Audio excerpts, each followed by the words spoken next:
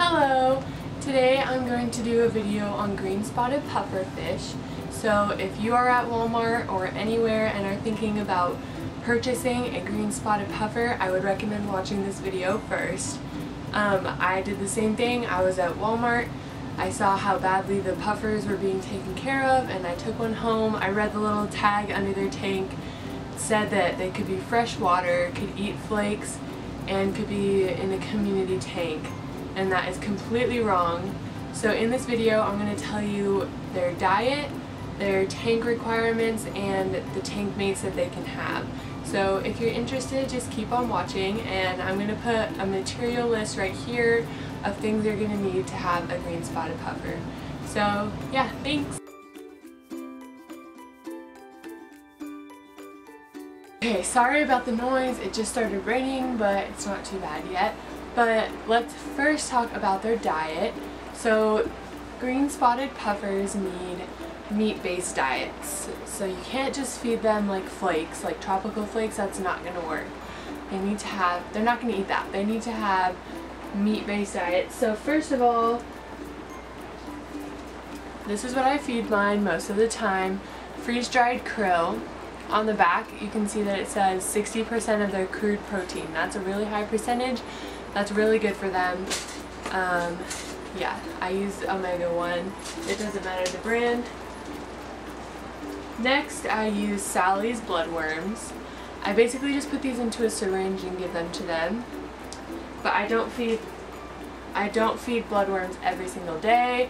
They only have 3.5% um, crude protein, which isn't very much, so yeah. The next and most important is live snails.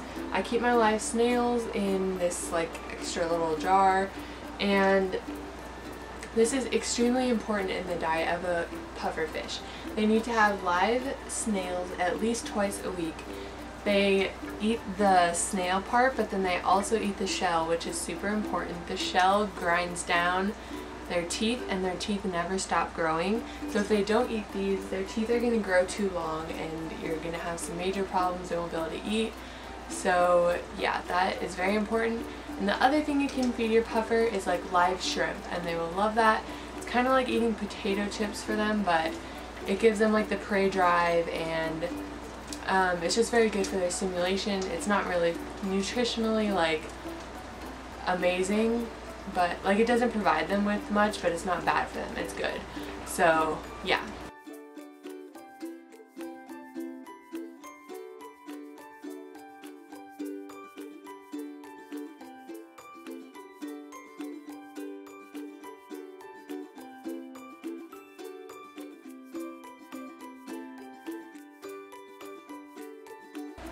Okay, so next I'm going to talk about the tank requirements for a green spotted pufferfish.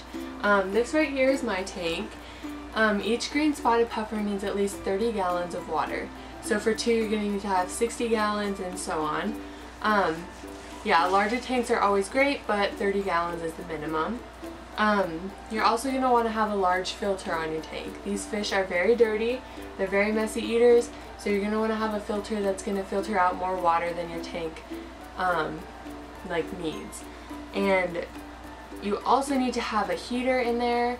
They like to have their water around 78 to 82 degrees and you're going to want a heater that's going to be 5 watts per gallon so you're going to want a heater that's about 150 watts. Um, next thing, the substrate that I have in here is I use the Carib African Cichlid Mix. This is a really good substrate for them. You do not want to have gravel because they're very messy eaters and when they try to eat off the ground the gravel can get into their mouth and they can choke and they will die. That is not a good substrate for them. You want to have sand so that when they try and eat like the snails or whatnot off the ground they're going to filter the sand out and it's going to be fine. Um, this is a great one because it raises the pH of the water and green spotted pufferfish like to have a high pH, which is a, around 7.5 to 8.5, so that's pretty high. Um, they like to have high pH. Um, the next thing you're going to need, you'll need this for any fish you get. You're going to need stress coat. You want to use, this is the one I use. You want to use stress coat every time you do a water change or every time you add new fish or anything stressful you want to add stress coat.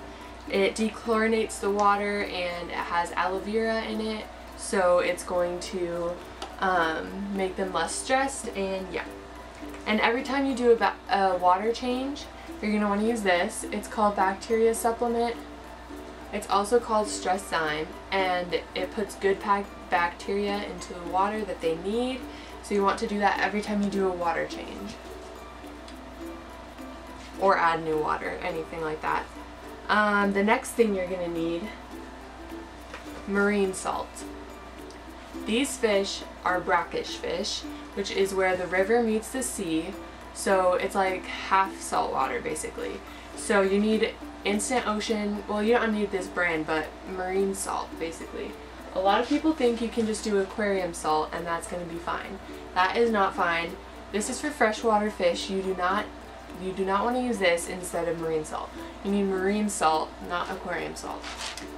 So when you put your marine salt in there, you if you bought your puffers as freshwater, you're going to want to transition them slowly. You don't want to stress them out and just completely put like a ton of salt in there you're but once you fully transition them to brackish you're going to want to do half of what it says on here because basically it's half saltwater fish. So yeah you're going to want to do half of that. So then the next thing you're going to need is called a hydrometer. This is the one that I use. Um, it measures the salinity of the water so you're going to know how much salt is in there so for puffer fish, you want them to be around 1.005 to 1.008. That is brackish water. So mine right now, I am in the transitioning mode. So they're not fully brackish yet. They're at 1.004, so they have a little way to go. But yeah, you want it to be around 1.008. That's brackish water. Okay, so the next thing you need are decorations. You need places for them to hide. So this is my favorite thing for them. They love to go through this. You can get this at like any pet store. Um, yeah, they love those. They'll swim through them all the time, but basically you just need places for them to hide. They love to hide. They get bored very easily, so they need lots of decorations. The next thing is live plants. This one's dead, but I put it in here too long. But you want live plants um, that are good for brackish water, that can survive in brackish water. Um, they like live plants, they eat them, so if you have plastic plants, they're going to choke, or if plastic plants are just not good for puffers. You want live plants. Um, and you want it to be heavily planted because again, they get bored. Um, and they love live plants. So some of my recommendations for live plants that are good for brackish water are Temple compacta, which are these guys right here, banana plants, which are this and this, Anacharis, which are all the big ones in there, and there's a few more. Um, but yeah, if you get some of those, you're going to want to get um, like some fertilizer for them. I can do a video on like how to take care of live plants if you want, I don't know. Um, and they also like to have this light on about 12 hours a day. You don't want to have it on too long, but 12 hours a day is pretty good um, for the puffers.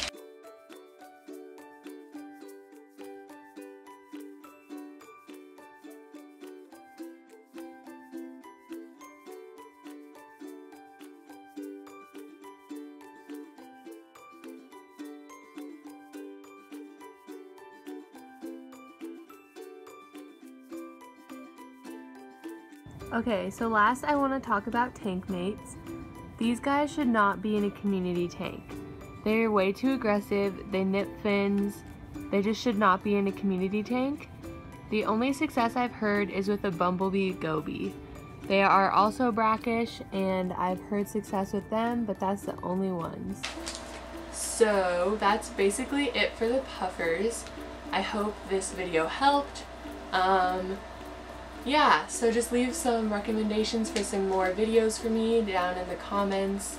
If I didn't answer all your questions about pufferfish, then just leave me some questions in the comments. I can answer more questions. Um, click the subscribe button for me. I still don't have too many subscribers. Um, yeah, so thank you for watching my video and I'll see you next time. Bye!